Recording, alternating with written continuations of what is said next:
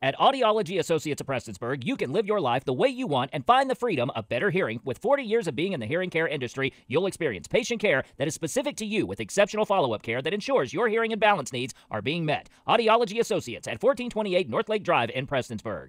A lot of people say Kent would be so proud of you. I wanted this for Kent because Kent wanted it for the community.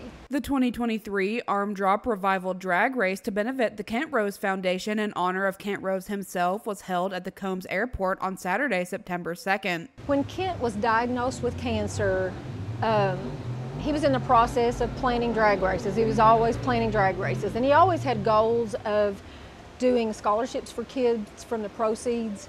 And although most of us around him was focusing on helping him survive cancer, um, he had one consistent goal, um, and I think that came a lot from the when he was in the hospital.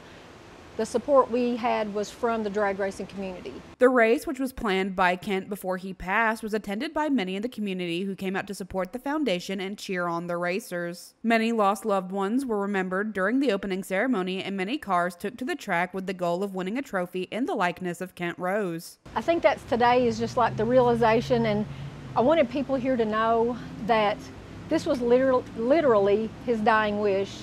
And, you know, to stand here today and know that the race he hoped that we would have, we're having, those roles that he wanted us, knew that we could decide as, the, as we went, those happened.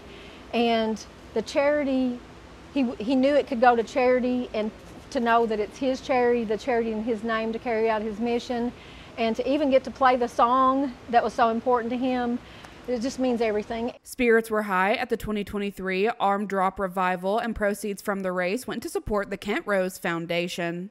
For Mountaintop News, I'm Kelsey Dean.